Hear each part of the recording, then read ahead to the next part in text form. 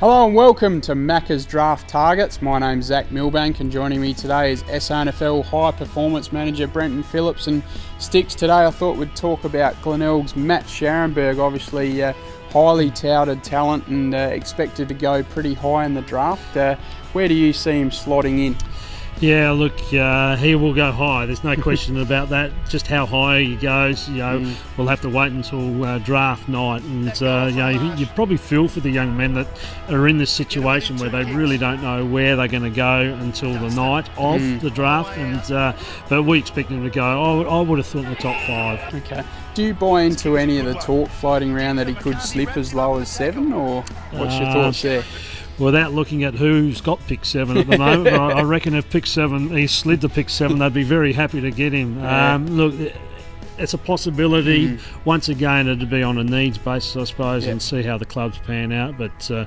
you know, St Kilda, they've got you know pick three, three um, and then you got Western Bulldogs and pick four. Yeah. If they got if he got past both them clubs, I'd be surprised. Yeah.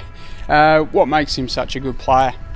I think the versatility of him. You know, mm-hmm. we know he can play down back, so he's um, he's an All Australian, twice mm. All Australian as a backman, and uh, we know he can do that. I saw a lot of his junior football played as a, as a key forward, so I know he can do that, and the recruiting uh, staff would have seen that in his mm. the state under 16s campaign. I know that he can play through the midfield. Yeah. So you know, 190, 191 centimetres. That's uh, that's a really good size for a midfielder. So. I suggest that if and when he gets into the AFL system, he'll probably mm. start as a defender, and yep. then will, as you know, age gets and his uh, ability to do some pre-seasons becomes upon him, and yep. he gets a bigger body, he'll mm. go into the midfield at that level for sure. Where do you think's his best spot? Obviously, you used him predominantly through the um, defence for the SA under 18 team. Oh, look, I think he's Mr. Fix It.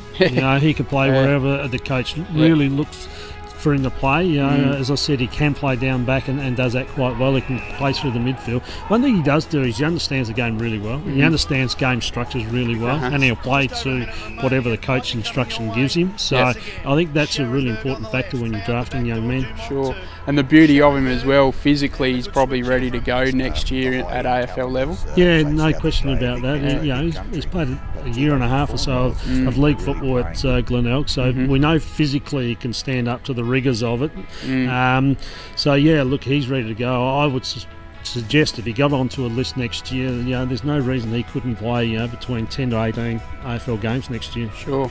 And I understand he obviously missed a couple of uh, games towards the end of the season with Glenelg just due to a bit of a minor foot ailment. Uh, that's all cleared up now, and he's all okay. Yeah, I led to believe that's all cleared up. He's mm. uh, and he'd be cherry right to go come uh, pre-season training at AFL level. Yeah. And just finally, obviously, uh, I know you don't like to do this usually, Sticko, but uh, who no. would he remind you of as a player at. AFL level, Matt Scharenberg? Look, that's a, that's a question you get asked a little bit. He he probably and been touted as a probably a Brendan Goddard type. Okay. And and purely uh, not because of the way that he plays, purely because he can go into the varying yeah. roles like Brendan Goddard can play forward, can play back, and play through the midfield. I think if you want to picture something like that, that's what you get with Matt Scharenberg. A very exciting prospect ahead for whichever AFL club's fortunate enough to snap him up in the AFL draft on November 21. Thanks for joining me, Sticks, and having a chat about Matt Scharenberg on Macca's draft targets.